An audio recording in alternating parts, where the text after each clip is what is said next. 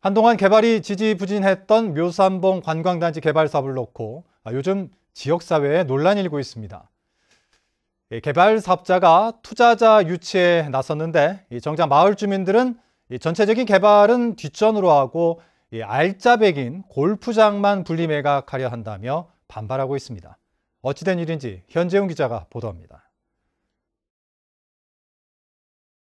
제주시 구자읍 김영리 중산간에 있는 묘산봉 관광단지 420만 제곱미터 부지에 1조 원을 투자해 골프장과 호텔, 식물원, 공연장 등을 갖춘 복합 관광단지 개발이 계획됐습니다. 지난 2006년 개발 사업이 시작된 이후 세인트포 골프장은 운영되고 있지만 골프장 동쪽 60% 사업 부지는 그대로 남아 공정률은 30%에 그치고 있습니다.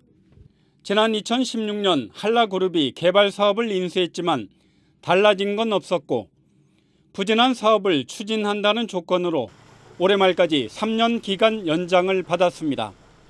그런데 한라그룹은 최근 IT 기업 카카오를 투자 유치 파트너로 정하고 현지 실사를 마친 것으로 알려졌습니다.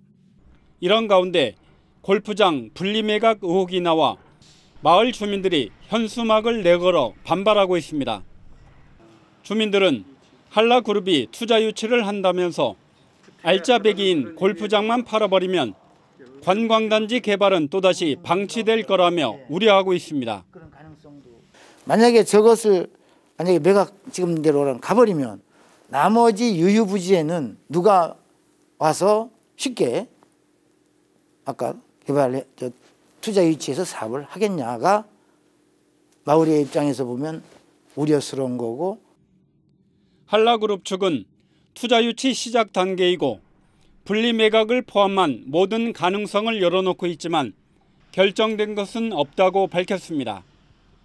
순수하게 영업권만 넘기는 부분도 있을 수 있고 그리고 그 상대방에게 위탁 운영하게끔 할 수도 있고 심지어는 이제 부동산의 소유권을 이전하면서 영업권까지 수비하는 부분도 있고 그래서 회사의 지분을 공동 지분으로 이제 투자를 막을 수도 있고 골프장 분리매각 논란에 대해 제주도는 제주특별법상 승인된 개발 사업이기 때문에 완공 전까지는 쪼개기 매각은 물론 사업자 변경도 안 된다고 못 박았습니다.